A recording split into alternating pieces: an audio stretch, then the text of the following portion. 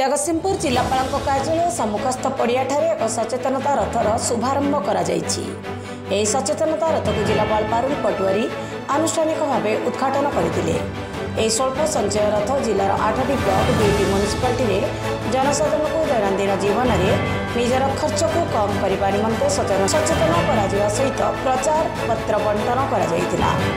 करम को जिला स्वल्प संचय अधिकारी रंजन दास तत्वावधान में परिचालित कार्यक्रम जिला संस्कृति अधिकारी दिलीप कुमार जेना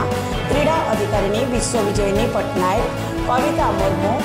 रीना राणी सोरेन राधामोहन जेना समीर कुमार स्वईं प्रमुख उपस्थित थे परिचालन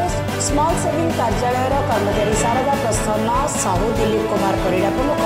ପରିଚାଳନା କରିଥିଲେ ପନ୍ଦର ଦିନରେ ଚନ୍ଦା ମୁଣ୍ଡରେ ବାଳ ଉଠିବ ଚାନ୍ଦିନୀ ହ୍ୟାଣ୍ଡସମ୍ କ୍ରିମ୍ ଲଗାନ୍ତୁ ସାତ ଦିନରେ ଗୋରାପଣ ପାଆନ୍ତି ଅସମ୍ଭବ ଅସମ୍ଭବ ଅସମ୍ଭବ କଥା ନୁହେଁ ଚନ୍ଦା ମୁଣ୍ଡରେ ବାଳ ଉଠିବ କଳା ଲୋକ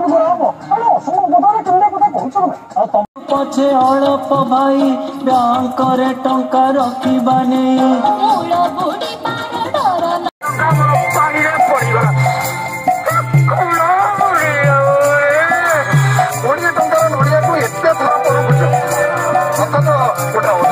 जगत सिंहपुर दीपक कुमार का रिपोर्ट अभियान समाचार